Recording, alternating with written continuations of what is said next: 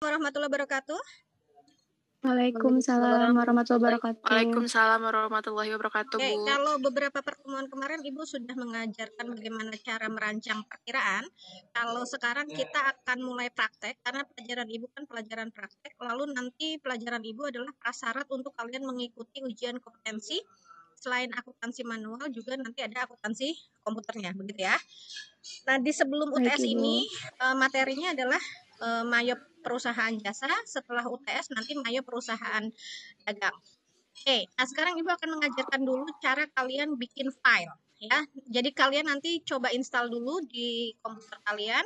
Tadi aplikasinya sudah Ibu bagikan di e-learning.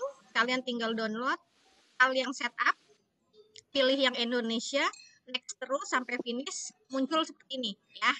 Nah, sekarang kalau bikin file, caranya kalian klik create ya. Jangan open. Kalau open adalah membuka file yang sudah pernah ada. Kalau create membuat file baru, Explorer adalah contoh file yang dibikinkan oleh Mayot. What's new apa yang baru dari versi ini?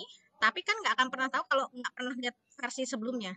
Exit kalau kalian nanti mau pulang. Ah, jangan exit dulu. Oke, sekarang saya klik create. Nah, ketika pakai Mayot, kalian bisa pakai mouse atau pencet Alt dengan yang di underline. Jadi nanti kalau kan kita mau next nih, kalian bisa pencet Alt dengan yang di underline. Yang di underline kan X ya. Saya pencet begini, dia akan ke layar berikutnya. Tapi kalau back, Alt dengan K. Nah, serial number ini diisi kalau kalian membeli eh, program yang asli. Tapi karena ini serial belajar, serial number nggak usah diisi. Nah, sekarang kalian isi nama perusahaannya. Biasanya kan eh, di dalam soal itu ada nama PT-nya ya. Saya kasih contoh misalnya PT Angin Ribut. Eh, PT Angin. Oh, ini kok kecil semua sebentar. PT Angin Ribut. Oke. Nah, supaya saya tahu ini punya siapa, kalau semua dikasih nama PT Angin Ribut, saya kan periksanya nanti bingung ya. Nah, wajib kalian tulis belakangnya dengan nama kalian. Karena yang ini yang bikin saya, berarti ini nama saya. Kalau namanya misalnya Desi, berarti namanya Desi, begitu ya. Nah, company number diisi dengan nomor siup. Kalau perusahaan punya nomor siup. Kalau nggak ada, nggak usah diisi. Nomor izin usahanya. Part adalah nomor NPWP perusahaan. Bukan nomor NPWP pribadi. Alamat, nomor telepon, fax, sampai dengan email diisi jika ada. Jika tidak minimal ya nama perusahaannya. Paham ya sampai sini ya? Iya, Ibu. Oke, kita next. Bu. Oke, Iya, ini Ibu. adalah periode pembukuan. Ibu udah ngasih materi tentang periode pembukuan belum ya? Yang ada empat itu. Rasanya udah ya? Hmm. Coba-coba kita intip e-learning kita. Kita intip e-learning kita. Saya udah ngasih tentang Bentar. Eh, rasanya ada ya yang yang eh, cuma di awal nggak punya saldo. Sebentar. Ini materi hari ini. Ini tugasnya. Oke. Ini periode pembukaan sudah ada ya? Saya sudah kasih di pertemuan kedua. Kalian buka lagi pertemuan kedua kalau bingung ya. Jadi ada di pertemuan kedua. Oke.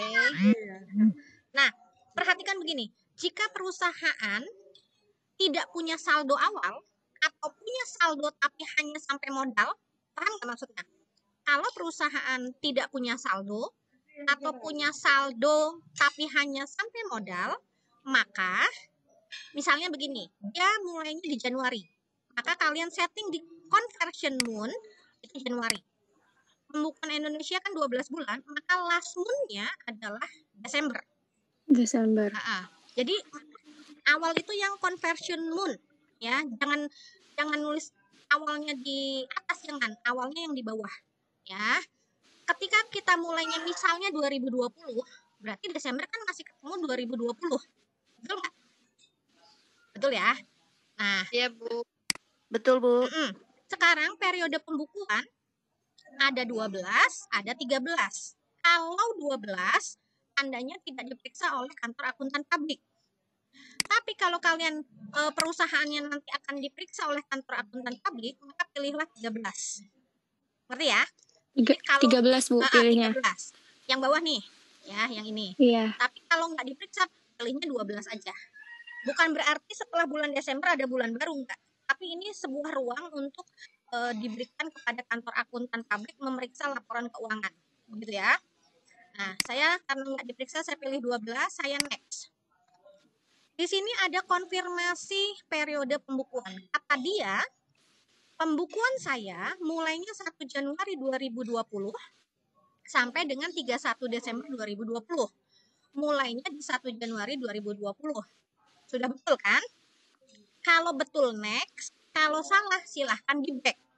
Kenapa? Karena periode pembukuan kita salah ini tidak bisa diperbaiki. Kalian mau nggak mau harus ngulang nanti dari awal. Makanya harus teliti dari awal.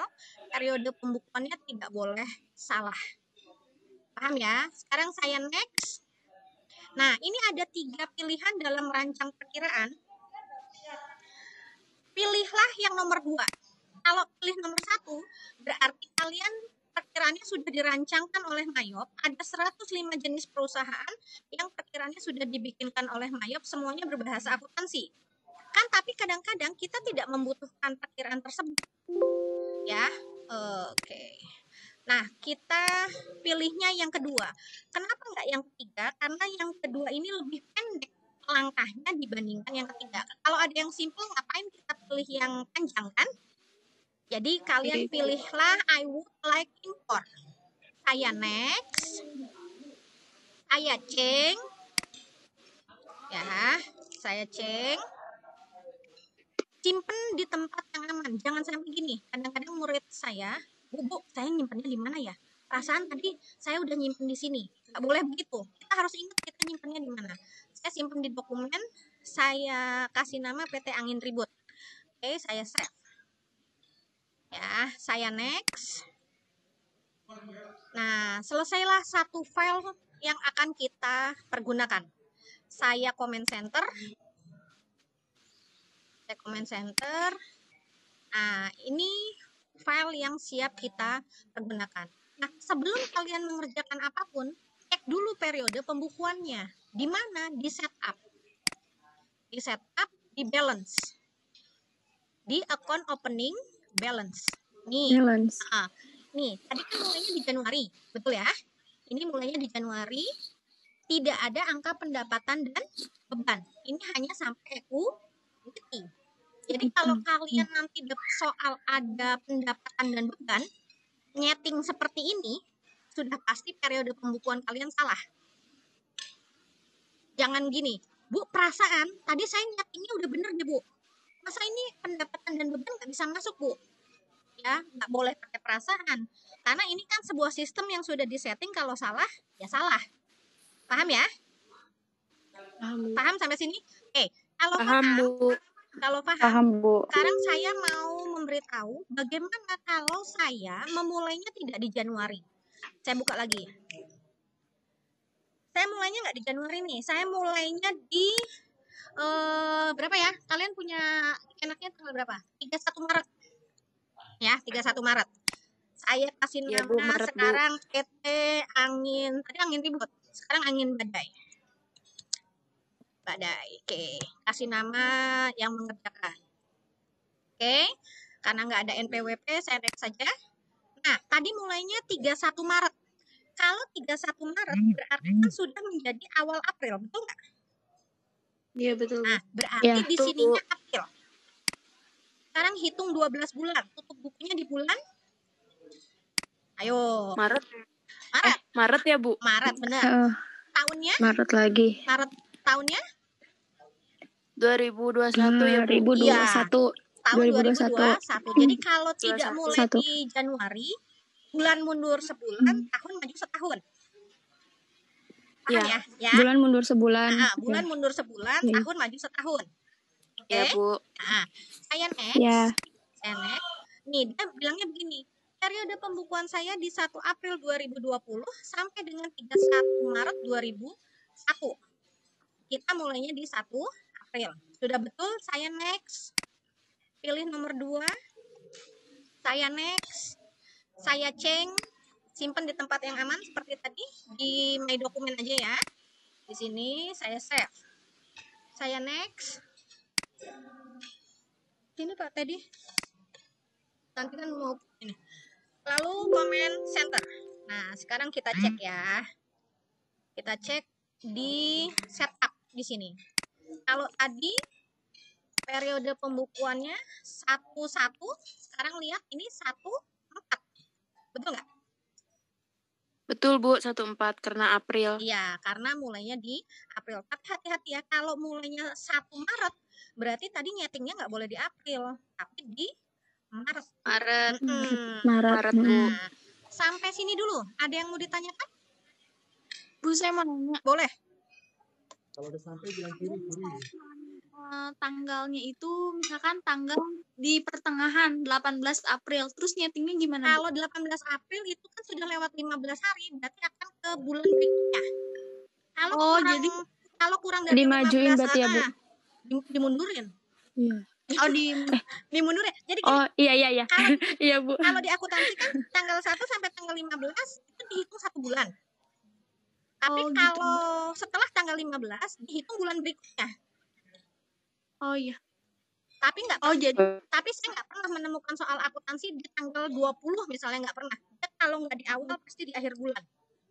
iya Bu Paham ya? Oh, iya, Bu.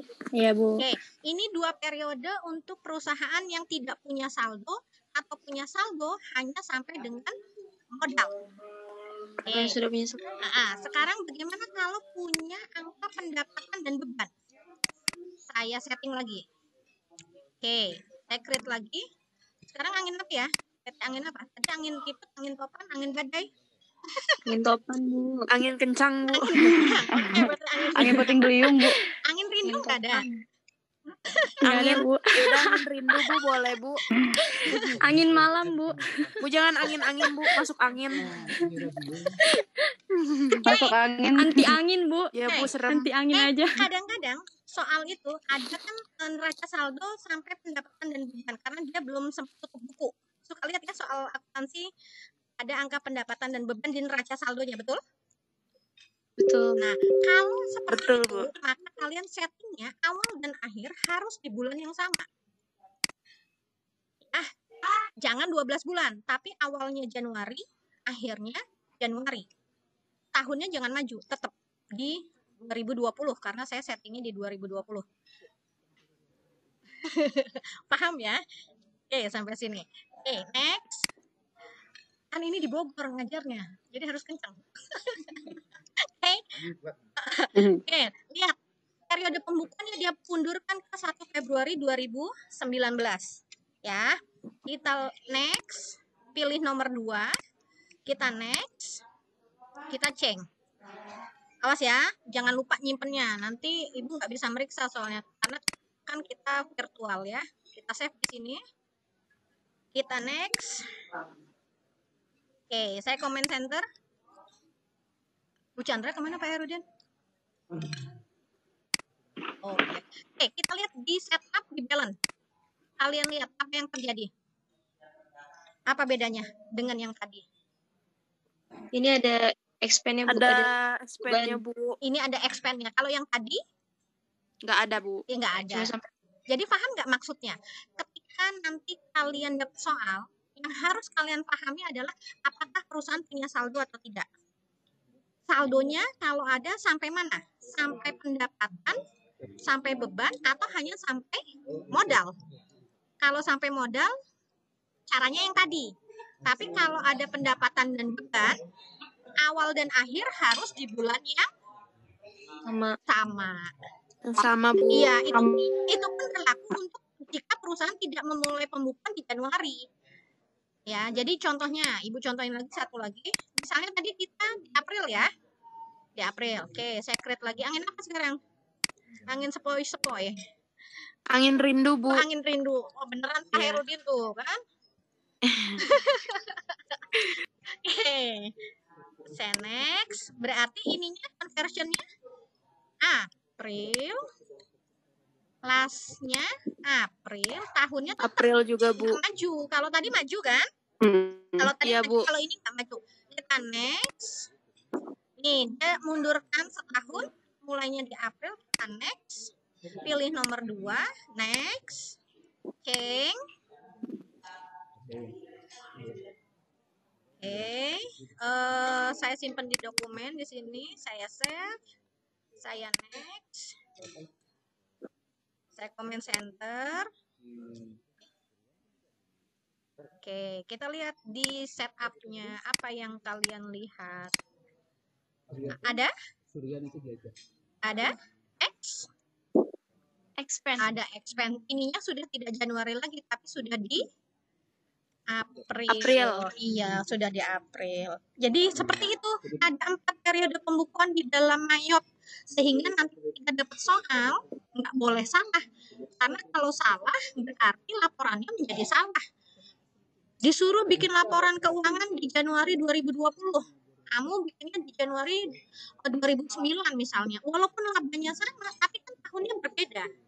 Berarti jadi salah, benar nggak? ya bu Ya. Iya bu. Heeh, jadi periode pembukuan ini sangat sensitif untuk bagian keuangan. Walaupun nanti labanya sama, tapi kalau periode pembukuannya salah, maka menjadi salah. Sampai di sini dulu. Ada yang mau ditanyakan? Aduh, Silva lagi ngantuk kayaknya. Habis bergadang ya. Atau pulang kerja. Wilayah. Habis begadang bu. Habis bergadang. Jagain nyamuk. Tiga nyamuk Jagain nyamuk. Yuk, ada yang mau ditanyakan sebelum kita akhiri karena ibu bentar lagi sudah akan dimulai kegiatannya ini ibu lagi di ruangan Ya. bersama guru-guru Indonesia. Bu, boleh ulangin tadi nggak? Yang mana? Yang mana? Pas tadi angin, apa, kan tadi kan yang dari expand Periode yang ada bebannya? Yang ada bebannya? Ya. Oke, ma- Ya. mau bulannya bulan apa? Mau bulannya bulan apa? Oke, mau nama PT-nya PT apa? Ayo, apa? PT PT Basa Basi aja deh. Nama PT-nya aneh-aneh deh. Oke, kalian mau gimana periode pembukaan? Surya Motor. Oh, Surya Motor. Oke, saya back. PT.